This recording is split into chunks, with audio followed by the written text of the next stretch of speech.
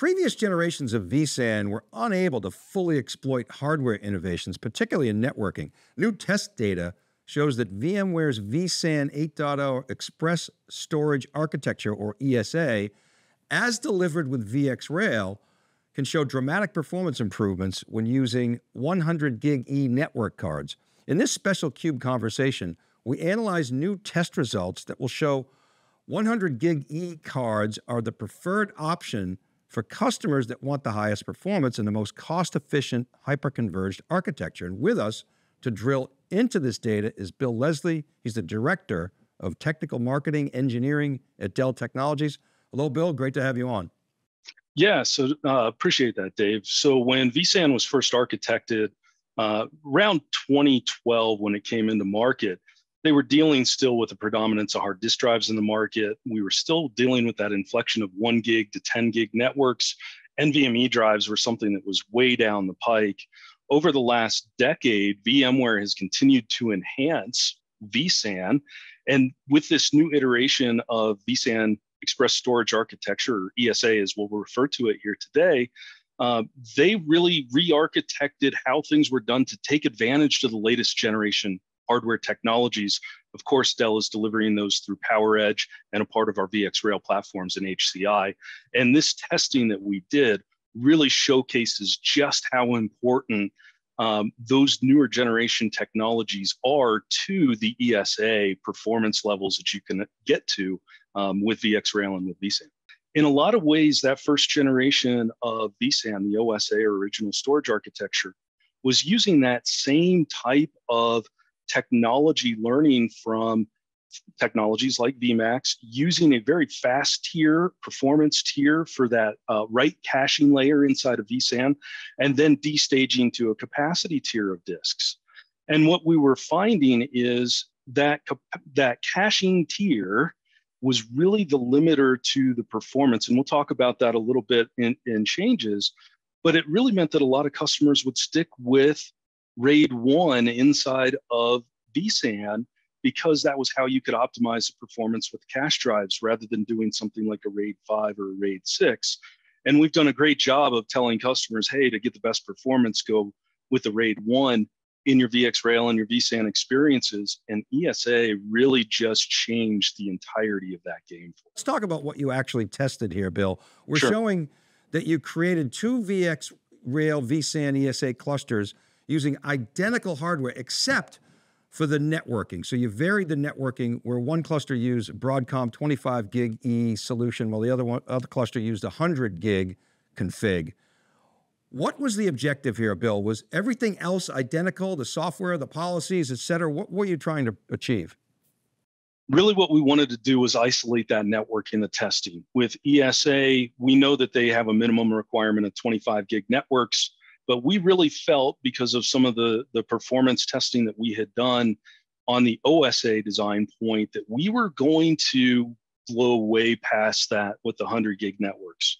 So we held everything constant except for the networking in this testing. It's the same version of software with VxRail. It's the same hardware components. We didn't vary the drives. We only moved the networking from the 25 gig cards to the 100 gig cards, just so that we could isolate that down to see what type of differential really existed inside the potential of our cluster and specifically the nodes of VxRail. Any change in performance that we're going to show you today is directly attributable to the change in network configuration. All right, so before we look at the results, what about the test bench and the workloads? Can you can sure. you share what's the background there so we're grounded in that? Well, obviously Dell and EMC have a great heritage of doing performance testing and profiling. You mentioned Symmetrix and VMAX, now PowerMax. Uh, we've been at this for a long time. There's a standard set of tests that we run across all of our products internally. The same teams actually on VxRail were originally trained on those Symmetrix platforms um, before. We've run a gambit of simulated workloads mirroring uh, various OLTP or database style workloads ranging from 4K up to 512K block sizes. We also do some relational database um, testing in here. So if you see OLTP, that's the databases of a certain block size. If you see the RDBMS, that's going to be your relational database. Um, construct with it. And what we really want to see is what happens to the various characterizations of reads, writes, sustained writes, sustained reads to see where those anomalies might be and where the real performance bottlenecks are in the system when we're doing that testing so that our sales teams are making sure that our customers have systems that are going to meet their performance requirements at the end of the day. So let's look at the results. The blue line here is 25 gig E and the green line is 100 gig E. And you can see where the knee of the curve hits for each uh, uh, line and the steepness of that latency degradation. And so, Bill, add some color here, please. So, one of the things we like to um, express on these is what's the workload we're testing? What's the block size, 22 KB? What's the read and write mix? That way, our customers can go and replicate these tests on their own with the same like for like configuration. We don't want to hold anything back. In this case, we're using RAID 6. Now, I mentioned that there were major improvements in vSAN ESA to the RAID architecture. RAID 5 and RAID 6 actually perform better with compression enabled than OSA does in RAID 1. So we wanted to really show this with those data services turned on, really kind of change that paradigm where people think I can't use those data services with VxRail or with vSAN. And so here we've isolated all of that. And you did a great job, Dave, of, of describing this. That inflection point in that blue curve is really hitting those theoretical limits of the 25 gig networking. Um, and what we see on the 100 gig line, the green line there, is we're starting to see that performance far exceed the, the right side on that chart where the, the performance of the 25 gig networks ended. Now, that's important because what we really see here, it's near a 50% gain on this particular workload that you get with that 100 gig networking. That's untapped potential if you're not deploying the right networks with vSAN ESA to really harness all of that potential. Because you're able to use RAID 6 relative to the the previous uh, uh, original vSAN, you're now compressing that that price parity. Even though you're you're moving toward 100 gig E, we're talking we're going to talk about that later. But you're you're you're really getting the the most cost efficient but still higher performance benefit. And and kudos to VMware on this. They really uh, by re-architecting vSAN the way that they did, adding in the way that they process things down and great information on the VMware site, core.vmware.com, from some of the vSAN tech marketing team to really understand how they re-architected that so that they could really tap into this potential with these new hardware technologies that are on the market today. This next slide, we're talking, uh, uh, we're varying the block size and increasing the percentage of reads in the test. Writes in the previous slide, higher write, they're always the more challenging for I/O and and you're seeing less steep for the green and even more advantages as the 25 gig config spikes again dramatically in the 100 gig the green line spikes much later and more smoothly. Bill take us through uh, this data.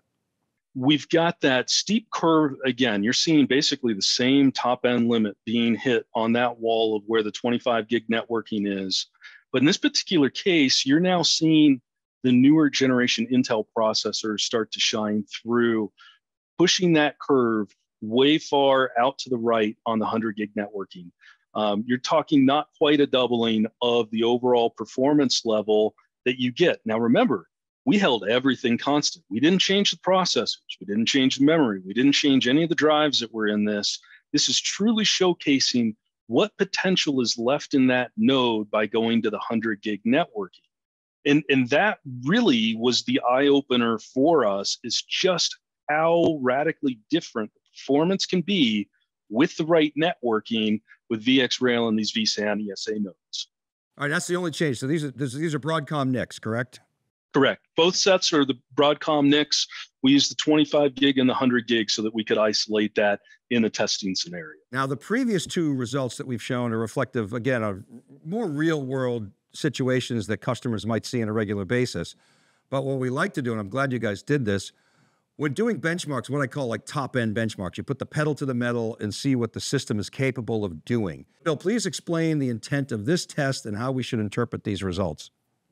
Yeah, what we really wanted to push was that envelope of the largest block sizes. Again, going back to where previous generations may have had challenge with those cache drives inside of vSAN what was this going to lead us to with the largest block size? And, and that was where usually we ran into performance challenges and, and, and really people would start to consider alternate technologies on those very large block, high throughput type workloads. And what we see here, um, and, and I'm not going to go through each set of these, but you're seeing near doubling across the board in all of these types of potential workload throughput potential that you see on the 100 gig networking framework um, in Broadcom cards that we're utilizing inside these nodes. And I've mentioned numerous times the write aspect of this. That was where the biggest sets of performance challenge presented themselves in the vSAN OSA architecture. And when we can start to double that throughput level on the writes, it's really showing that we're harnessing all of the power of the technology that's in these platforms. How should customers think about this if they had to go in front of their CFO and justify an expenditure? Dave, the, the best are real world cases. I was at a, a customer um, meeting in January, right when we brought these out. It's the first time he heard about it. And he said, I, I should get a quote on that. I'm thinking about buying some new VxRail 8.0. We've been using vSAN for a long time came back right away and he said, guess what? It was 10% less expensive on just the VxRail nodes side of that equation because we're eliminating that expensive cache tier of storage. Now, the 100 gig portion of this, that's what you mentioned being something where, well, how much more expensive really is it? And the networking part of this, when you're comparing against numerous all NVMe flash drives being inside of these systems, the networking pays for itself in less than the cost of a node. It does require an upgrade to all of the cabling, getting 100 gig switching for that environment. But when you're able to showcase just how much potential you can un- unleash with these, you need half the number of nodes in an overall design point. It pays for itself very quickly in that equation. Um, we we tell our our customers, our account teams, go put the two side by side. You're going to see that advantage right out of the gate this is a conversation to have early with the networking team to make sure that that upgrade to the 100 gig networks is going to be about the same time you're doing that VxRail one. Now we know not all customers can do that, Dave. So what we do allow is if customers want to change over the networking to 100 gig after that first deployment, maybe let their networking teams catch up, they can do that. But without a doubt, that 100 gig is going to let them take the advantage of all of the performance that you want to get out of your VMware uh, and vSAN environments. Is this a game changer? And if so, why? So, short answer is yes. I think all customers should evaluate what their performance requirements are. What's the technology that's going to get you to the outcome that you need to have with that? In this particular case, we're showing that you can do more and more with hyperconverged than you ever thought you could. This isn't just to throw a little bit of VDI on there, put a maybe tier two or tier three app on there. We're seeing real world customers deploy very performant uh, databases and other types of performance environments with vSAN ESA and, and really expanding that use case where you're getting all the value that VxRail brings to bear with the automation for VMware environments, um, getting the operational efficiencies that you drive by having us offload a lot of the validation of different firmware stacks and, and software stacks together. We're doing all that testing for our customers so that they don't have to go and read which versions are compatible with which, test it out in the lab, and then go forward. We're, we're really offloading a lot of that burden, and there's more value um, that can be tapped into by making the decision to move VxRail for more and more of those workloads that might have a performance requirement with them as well. Excellent. Bill, I think it's a really interesting development that we're going to be watching closely. Appreciate your time and thanks for sharing all this great data. Dave, thank you for having me here today. You're very welcome. Okay, and if you're going to want to dig into the, the white paper that Bill and his colleagues wrote, we're going to put a link into the show notes and you can check it out yourselves. Thanks for watching.